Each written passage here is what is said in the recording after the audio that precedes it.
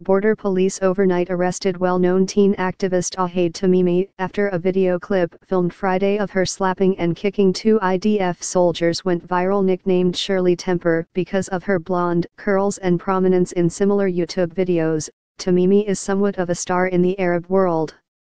This past summer, she went on a speaking tour in South Africa to share her story and, three years ago, was invited to dine with then Prime Minister of Turkey, Recep Tayyip Erdogan. Be the first to know, join our Facebook page.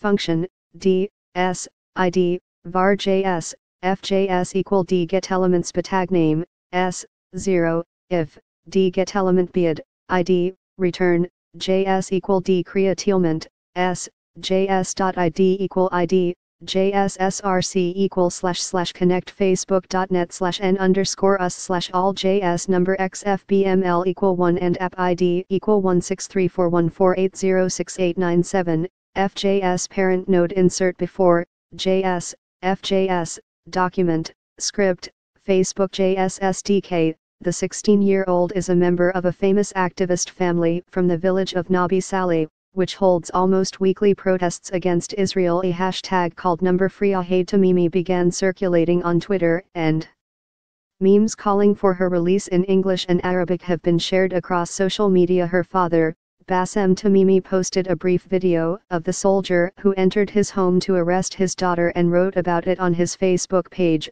saying that the soldier had beaten his family and taken their phones, cameras and laptops the IDF said she was arrested on suspicion of attacking an officer and an IDF soldier.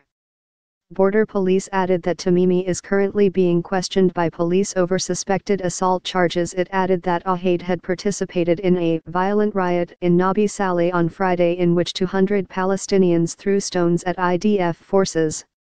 At the demonstration, her cousin Mohammed was shot with a rubber bullet, being hit in the face.